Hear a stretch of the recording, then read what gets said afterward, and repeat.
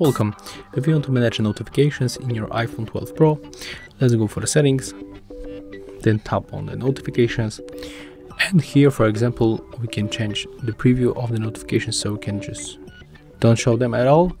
And here at the below, we get also a very app that we have on our smartphone. So for example, we can enter maps and we can grant permission.